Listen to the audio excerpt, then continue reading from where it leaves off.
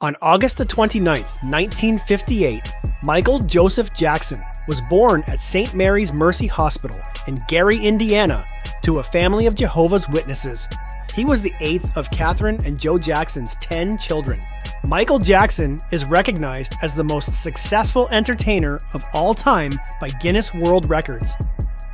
The music videos for Beat It, Billie Jean, and Thriller are credited with breaking down racial barriers and transforming the medium into an art form and promotional tool.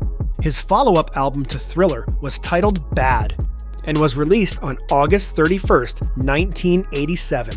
The Bad video was directed by acclaimed filmmaker Martin Scorsese and depicted urban and racial challenges in the late 1980s.